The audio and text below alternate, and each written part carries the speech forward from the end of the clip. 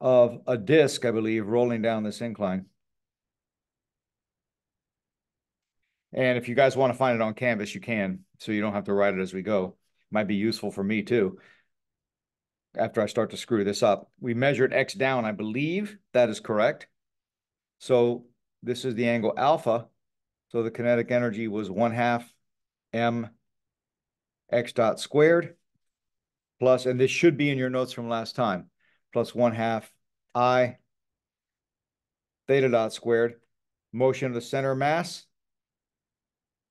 rotational kinetic energy. So this is, in other words, you know what? Let's use a, a sort of common parlance here. This is translational, KE, and this is rotational, KE. Everybody agree with that? And I believe the potential, V of X, was equal to mg sine alpha. And unless I made a mistake, when x is equal to zero, you are at the, uh, when x is equal to L, you're at the bottom. And when x is equal to zero, you are at the top. So this came out to be, because I've measured x downward from here, right? So this is L minus x. So after you go all the way down, you get zero. And when x is equal to zero, you are MGL sine, which is this height right here, correct? So we have a constraint, and the constraint is F is equal to, and this is the rolling without slipping constraint, X minus, we'll take the, I think I used A for the diameter of the disk. X minus A theta is equal to zero. All right. So there's no phi in this problem because it's an extremely thin, razor sharp disk on an extremely thin, razor sharp inclined plane. Sweet Jesus.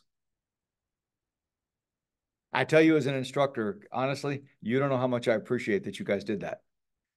It, it takes a real level of engagement to be able to say, hey, hey, hey, no, no, no, put that phi in. But now I'm telling you, this is paper thin. So we'll find for the x coordinate. Do it on your own real quick. Give you 40 seconds, but I'm not going to pause. Do it with you. The equation of motion for the x coordinate.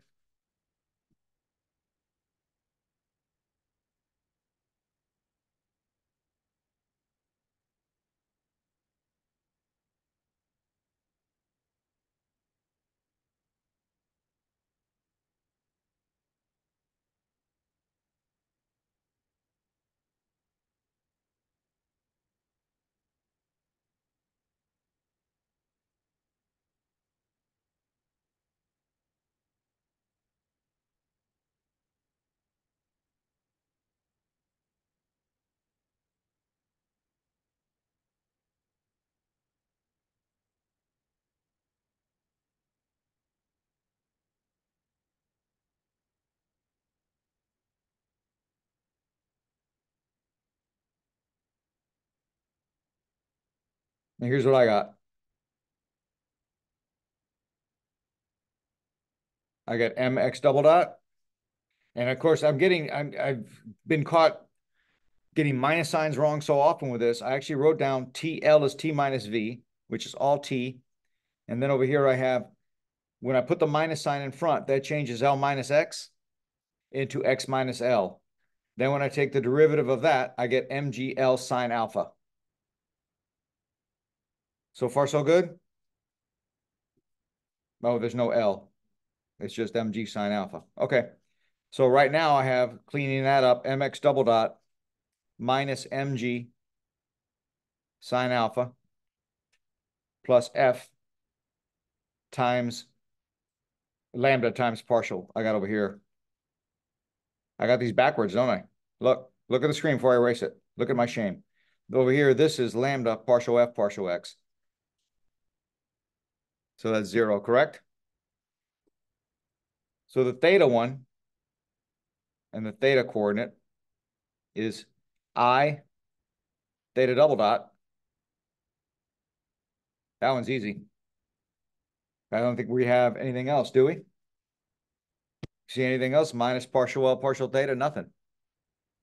That is plus, and then I will have lambda times partial F partial theta. And this is going to give me I theta double dot plus lambda. I believe that comes out to be minus A. Am I right about that? Is equal to zero. Now we can use our constraint, can we not? Our constraint is then mx double dot. You want to use x or you want to use theta? Let's go, let's go ahead and x because I wrote it down first. Can you use either one? Absolutely yes. Because you have a constraint that relates the true, the two. mx double dot minus mg sine alpha plus lambda equals zero. And then I have I theta double dot is x double dot over A. Is e plus lambda is equal to zero. So I can immediately get this is one and this is two. Still be minus. Oh, it's minus, isn't it? Minus here? mi- Minus A. Yeah, right there. Yeah, yeah, yeah. Because I, yep, yep, yep, right here. And you remember uh Land Before Time with Ducky and here? Yeah, and that what was the name of that one that was yep, yep, yep, yep, yep, yep. That was Ducky? Yeah, he was annoying as all get out. Who was your was it? She, yeah. Who was who was your favorite Land Before Time dinosaur? Spike? Dudes identify with Spike. You know, he's kind of muddling through life, bumping into things, hoping for the best, you know. Yeah. My daughter likes Cera. Yeah. Yeah, yeah. She had a ill, she was she was ill-tempered, you know. So this is lambda. You're telling me this is lambda A here, correct? Yes. Yep. Everything else good? Because the constraint back here, I take partial F, partial theta, and I get minus A, a constant right there. All right, take a minute and work this out. Let's find, let's go ahead and get X double dot first. What did we have, a disk? Did we say it was a disk? What? You're the person. who- Yeah, you said this. You said what This it was- is. I'm just checking. So it's, so the moment of, inertia. what's the moment of inertia disk? Anyone? One half I R squared, one half M A squared in this case, right? One half I, one half A. So this is M A squared over two. And I'll let you work this out. I'll do it with you. Basically, I'm, you're doing it with me because I'm almost certain to get it wrong. Let's see, this is then one half M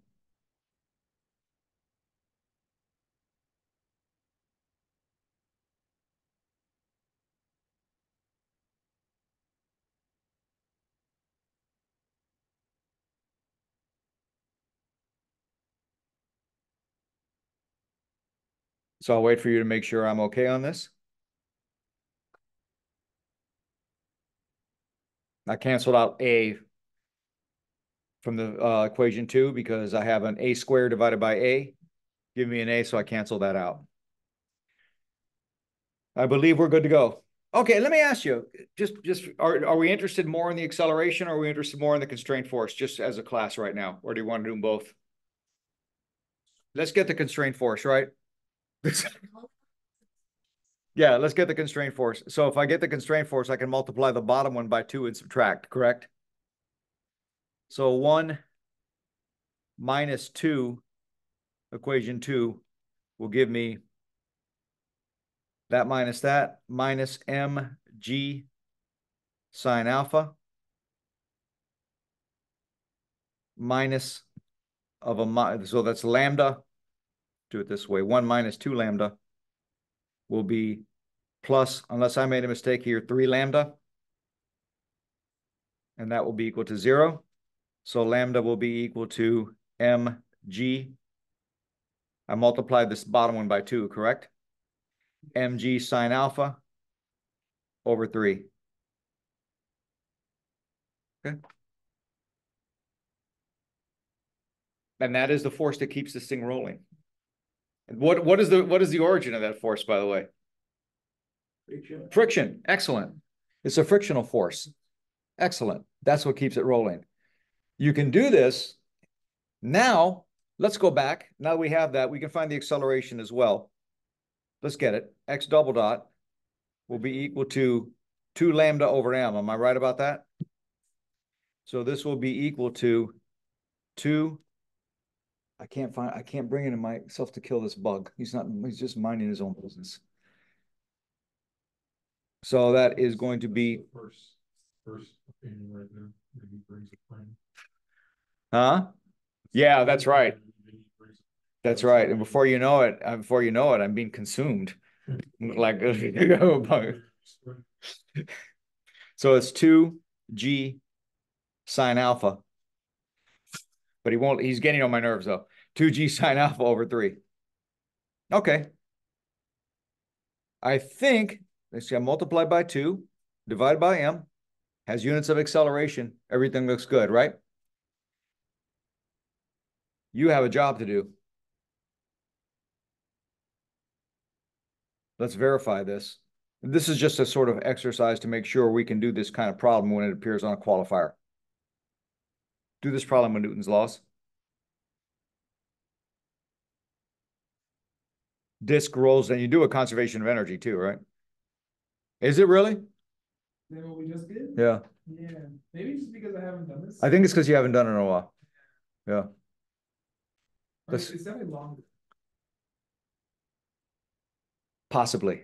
It, it- it- it's gonna be a line, uh, one point five to two point five lines longer. Yeah. About, right? But it's not prohibitively, okay? I'm gonna give everybody about three minutes to get, there. not ah, two minutes. I don't, I, I can't stay still three minutes. I'll give everybody two minutes to get this started. So we have mg down.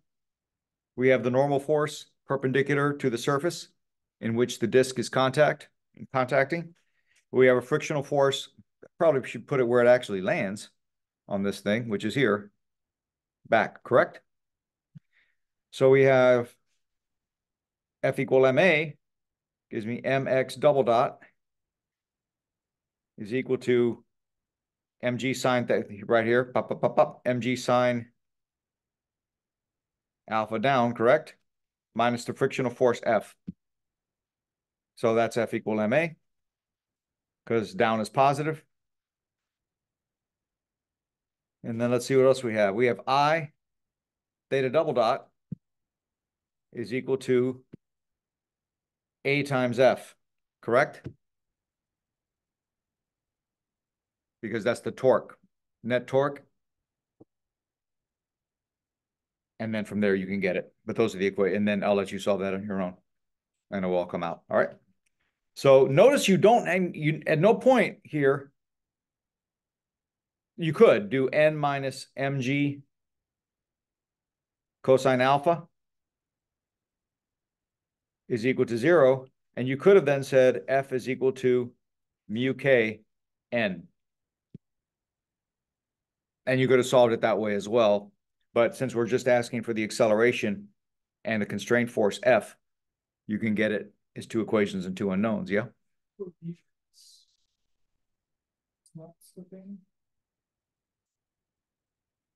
No, that you, no, it's mu kinetic. It's moving. Pretty sure it's moving. It's not slipping, it's rolling. Yeah, let me think about that. Yeah, you might be right. It's mu static. I gotta check that. You know what? I don't remember. I just taught general physics one and I don't remember. I know if it's a tire. It's a good question. I know if it's a tire and you're going around like this, it's definitely mu static because there's no motion relative, right? Yeah, Yeah. Yeah. Yeah, it's not. Yeah, it's instantaneously at rest. I gotta think about that because it is actually having to. That's a good question. I don't remember at the top of my head. We can reason that out. Instant, yeah, because it, it's it's a more subtle thing. It would be, it would be K if it like was. Yes, yeah, yeah, yeah, yeah, yeah, yeah, yeah. Yeah, I think you're right. You're probably right.